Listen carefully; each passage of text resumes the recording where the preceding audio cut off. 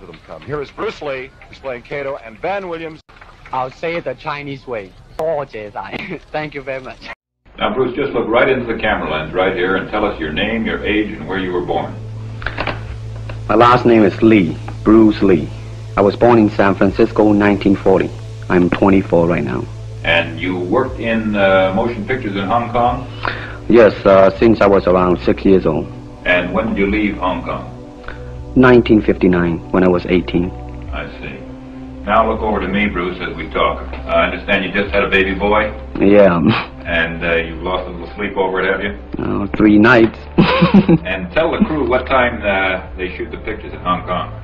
well, it's mostly uh, in the morning because it's kind of noisy in Hong Kong, you know, around three million people there, and so every time when they have picture, it's mostly say around 12 a.m. to 5 a.m. in the morning. I see. They'd love that there. And you went to college in the United States? Yes, And what did you study? uh, philosophy. I see. Now, you told me earlier today that karate and uh, jujitsu are not the most powerful of the best forms of uh, Oriental fighting. What is the most powerful of the best form? Well, it's bad to say the best, but uh, in my opinion, I think Kung Fu is pretty good. Would you tell us a little bit about Kung Fu? Well, Kung Fu is originated in China. It is the ancestor of Karate and Jiu-Jitsu. It's more of a complete system and it's more fluid. By that I mean it's more flowing. There is continuity in movement instead of uh, one movement, two movement, and then stop. Would you look right into the camera lens and explain the principle of the glass of water as it applies to Kung Fu? Well, Kung Fu, the best example would be a glass of water. Why? Because uh, water is the softest substance in the world, but yet it can penetrate the hardest rock or anything, granite, you name it. Uh, water also is insubstantial. By that I mean you cannot grasp hold of it. You cannot punch it and hurt it. So every Kung Fu man is trying to do that. To be soft like water and flexible and adapt itself to the opponent. I see. What's the difference between a Kung Fu punch and a karate punch? Well, a karate punch is like an iron bar, whack. A Kung Fu punch is like an iron chain with an iron ball attached to the end and it go whang and it hurt inside. Okay. Now we're going to cut, and in just a second we'll uh, have you stand up and show us some Kung Fu and some movements in Kung Fu. Okay. Cut. Please.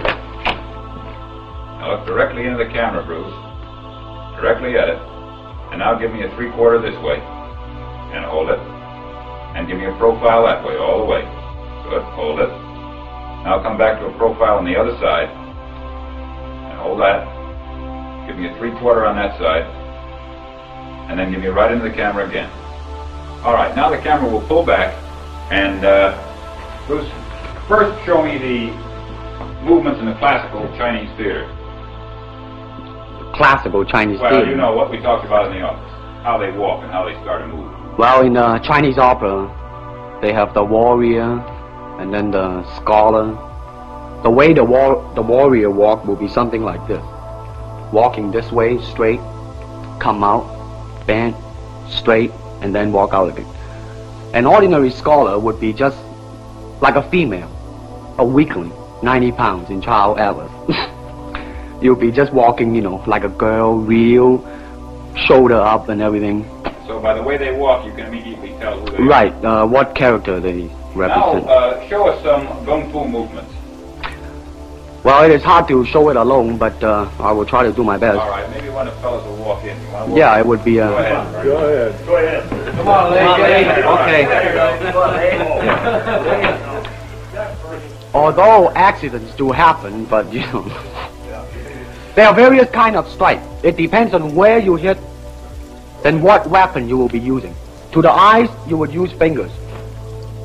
Don't worry, I will. To the eyes, or straight at the face, from the waist, everything on. Hold it just a minute. Uh, let's move this gentleman around this way so you're doing it more into the camera. Okay, Okay. well. And then there is band arm strike using the waist again into a back fist. And uh, let's have have the assistant director back up just a ways. okay, go ahead. Continue. And then of course, Kung Fu is very sneaky. You know the Chi- the Chinese, they always hit low. From high, go back to the groin. Don't worry. Now turn around the other way with you, Bruce. Oh, okay. Yeah. And, uh... Would you want him? Yes. Oh, cross These are just natural reactions. That's Right, it. right. That is All right. natural. Right into the camera. Cheat into the camera a little bit and show this again. All right. Go ahead. There is the finger jab. There is the punch. There is the back fist and then low. Of course, then they use leg straight at the groin All come up.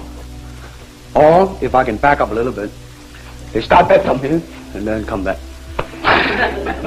All right. It's kind of worry. Uh, he, he has nothing to worry about. Now, No. once again, uh, show us uh, how, how a good Kung Fu man would very coolly handle it and walk away, rather than get involved in a series of actions. Cut it. Sound. Okay. Spade. Uh, now, Bruce, so that we can clearly see what you're doing uh, this time, uh, we'll face the fact that there's nobody there. Uh, Okay. Show me now the difference between Jiu-Jitsu, which is long and involved, and Kung Fu, which is very quick if you have an opponent. All right. For instance, you will read it in the book, in the magazine, and everything.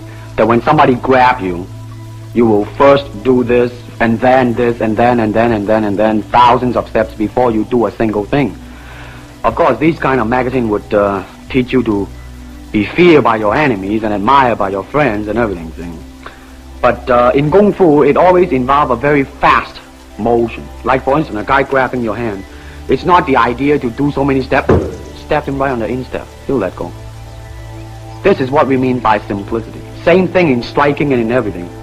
It has to be based on a very minimum motion so that everything would be directly expressed one motion and he's gone. Doing it gracefully, not to go ah yelling and jumping all over him, but to do it.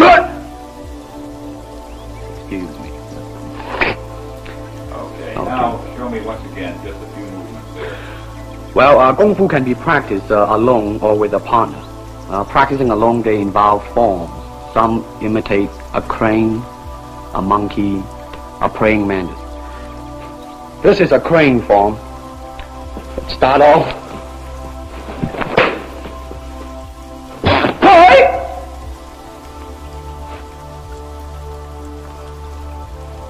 This is one of the movement involved. Show us one more movement and then we'll be all through. Okay, well, I'm glad to hear that. they have the tiger that start like a tiger, using claw to claw the face, or the beak of the crane to the eyes move.